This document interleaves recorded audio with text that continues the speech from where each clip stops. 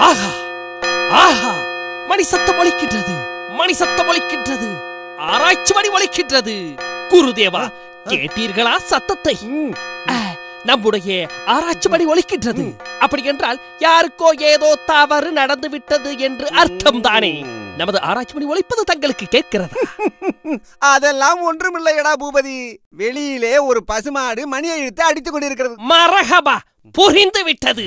குருநாதரே பசு ஆராய்ச்சி மணியை அடிக்கிறதென்றால் அதனுடைய கன்றை மன்னனின் மகன் ஏற்காலில் இட்டு கொண்டிருக்கின்றான் ஆ, கொண்டு வாருங்கள் பயமுள்ள பாக்குவட்டியை. நறுக்கி விடுகிறேன். தண்ணி வண்டி ஒழிந்தால் பூபதி. வேற ஒன்றுமில்லையடா. ஆ, அரண்மனையிலே மூன்று மாதமாக பால் பாக்கி பால்காரனுக்கு அவன் பசுமாட்டை ஏவி விட்டிருக்கின்றான். பசுவையா? ஆமாடா. யாரங்கே? உடனடியாக சென்று அந்த பசுவையும் பால்கார பரமசிவத்தையும் அடித்து விரட்டிவிட்டு அ, காரைக்கால் அம்மையார் மில்க்குக்கு சென்று கூப்பன் வாங்கி வைத்துக் கொள்ள சொல்லுங்கள்.